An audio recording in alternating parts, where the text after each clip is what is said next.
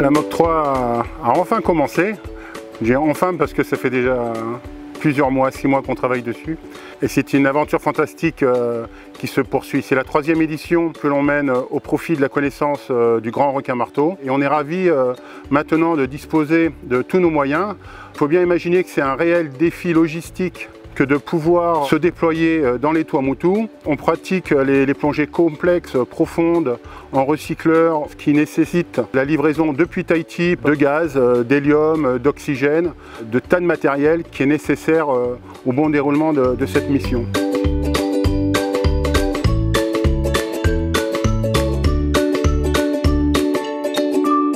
On a achevé il y a maintenant une semaine la montée en puissance complète en effectif humain. Là encore, il y avait un, réel défi puisqu'il fallait euh, compléter euh, les différentes compétences que ce soit en plongée, que ce soit en communication, en logistique, pour pouvoir euh, réaliser mon 43. Et c'est fantastique parce que les requins sont bien là. Ils sont arrivés à peu près mi-décembre, des, belles femelles qui font déjà entre 2,50 m et, et 3,50 m.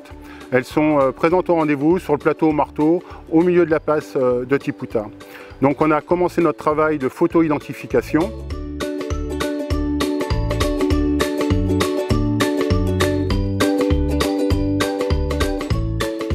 Et là, prochainement, on va se déployer dans le, lagon euh, pour se rapprocher encore un peu plus des, euh, populations euh, des Tuamotu.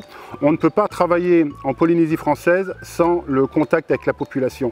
On n'est rien sans, sans la connaissance des gens. Il faut absolument protéger ce requin et c'est dans le lagon derrière que ça se passe en fait.